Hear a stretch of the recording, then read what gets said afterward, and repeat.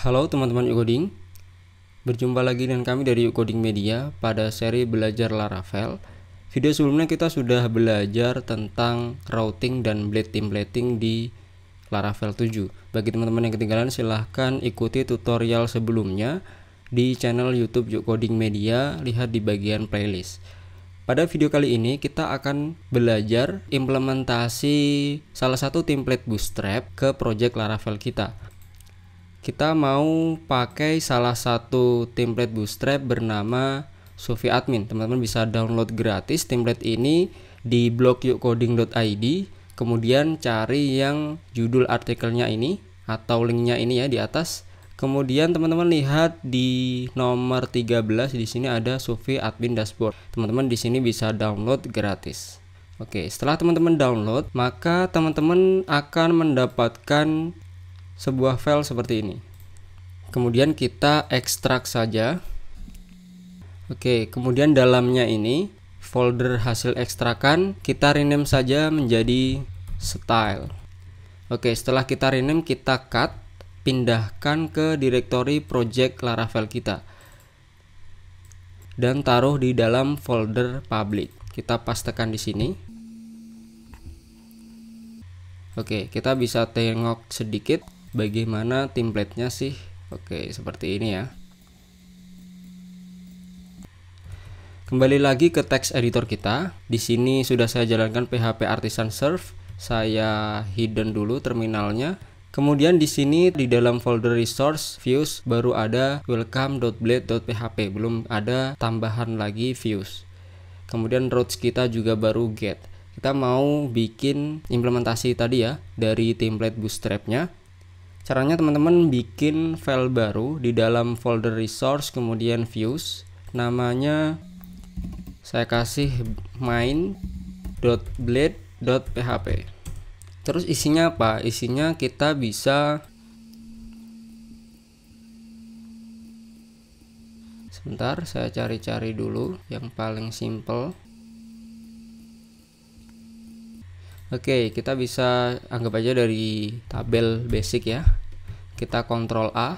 Ini tadi caranya teman-teman kontrol U atau bisa klik kanan kemudian view pack source. Seperti ini kemudian kita kontrol A blok semua kemudian kontrol C copy kemudian kontrol V paste di main.blade.php Oke setelah ini kita coba bikin routes baru.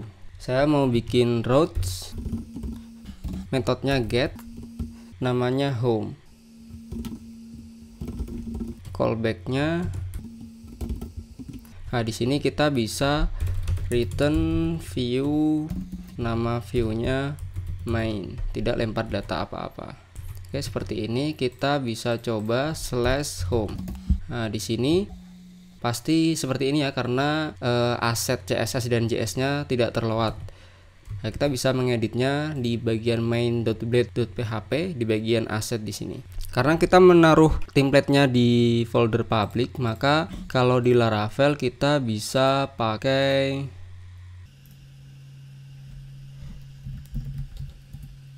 Nah, untuk URL di bagian helper Laravel di sini kalau URL biasa atau kalau di CI itu biasanya set URL atau base URL itu bisa pakai URL tapi kalau kita mau akses folder public kita bisa pakai aset. Nah, di sini ya kita bisa pakai aset. Teman-teman kalau mau coba-coba library atau helper yang lain bisa cek di dokumentasi si Laravel. Kita mau pakai aset. Ini saya mau rapikan dulu ya. Di sini aset, kemudian tadi kan folder kita public asset, kemudian ada style. Kemudian di dalam style baru ada aset. Nah, berarti di sini style jadi ini otomatis aset ini public jadi style langsung slash kemudian isinya ini kita cut pindahkan ke sini. Begitu juga seterusnya. Kita bikin seperti ini copy ke semuanya.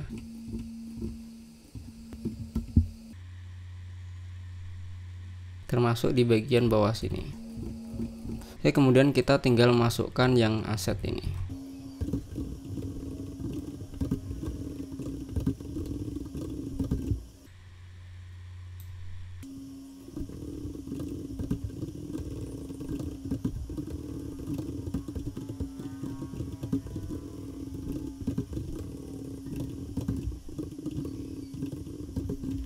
Oke, santai ini saya mau cek dulu. Nanti akan saya perlihatkan script akhirnya setelah saya rapikan. Ini saya coba. Nah, di sini sudah terload ya, teman-teman. Ada beberapa gambar yang belum terload. Tapi di sini kita tambahkan aset seperti ini sudah muncul template kita. Saya mau rapikan dulu nanti saya perlihatkan script akhirnya.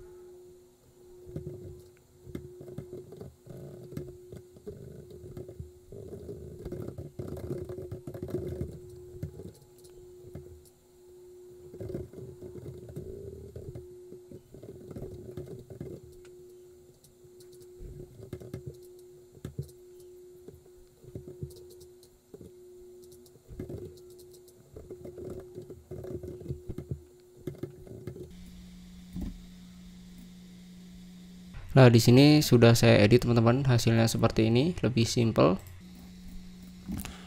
Saya akan perlihatkan scriptnya. Teman-teman perhatikan bagian lainnya ya.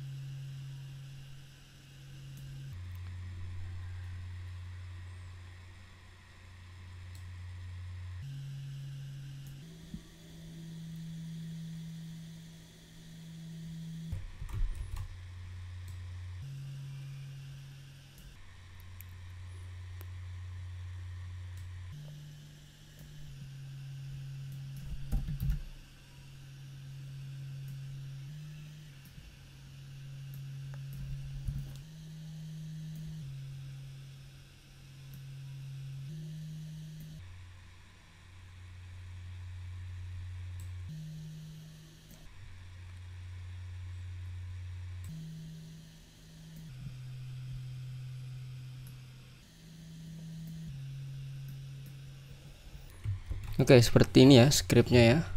Tampilnya seperti ini.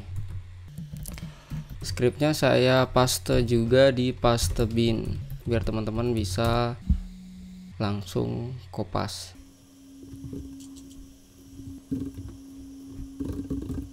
Ini tanpa templating dulu. Karena kita belum implementasi untuk yield. Jadi cuma murni hasil edit template ini saja linknya nih ya atau ini linknya Oke setelah kita edit template-nya ya di main.blade.php di sini Nah, di sini kita mau bagian title sama isinya itu dinamis berdasarkan nanti URL-nya ya, routingnya. Jadi ini anggap aja template utama. Di sini kita bisa kasih ini scriptnya Blade. Teman-teman kalau sudah install Blade snippet, teman-teman ketik yield gini udah ada yang B ini. Nah teman-teman tinggal enter. Kita kasih title. Di main ini ya kita kasih title. Oke di bagian title kita kasih seperti ini ya yield title. Kemudian di sini ini kita mau bikin dua uh, yield lagi. Yang pertama adalah yield untuk breadcrumbs. Breadcrumbs tuh ini ya bagian titlenya ini isinya ini ini breadcrumbs. Sama konten untuk yang bagian kontennya ini. Lah kemudian kita bikin file baru di views namanya home.blade.php oke setelah seperti ini teman-teman tinggal extends add extends dari main ini ya.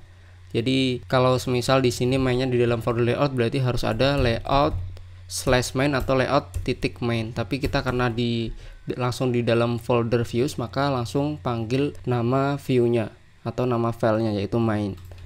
Kemudian kita add section yang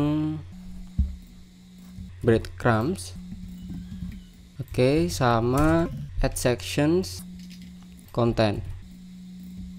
Sama satu lagi untuk title. Karena title satu baris jadi nggak perlu ada end section. Jadi gini.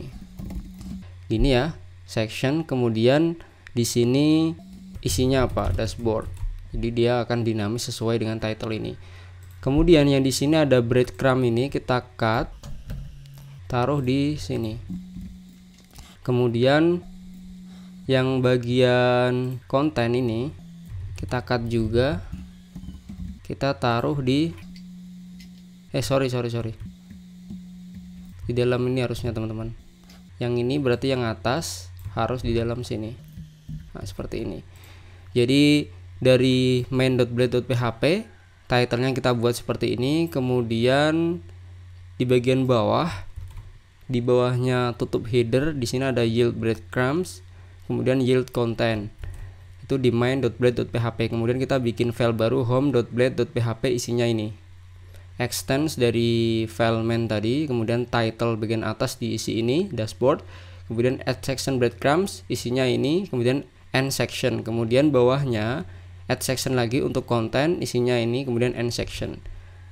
Di sini return view-nya di bagian routes web.php di sini jangan main tapi kita arahkan ke home. Hasilnya seperti ini sama saja dan di sini title-nya sudah berubah.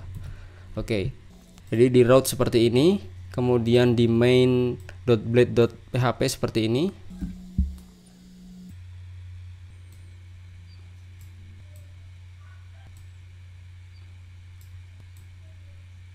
Oke, kemudian di home.blade.php seperti ini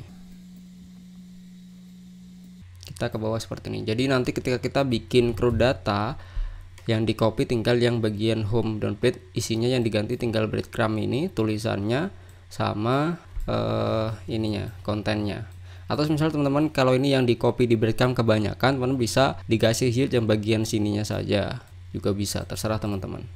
Oke untuk implementasi template bootstrap di blade templating laravel sudah jadi Tutorial selanjutnya kita mau bikin crud data dengan query builder di Laravel 7.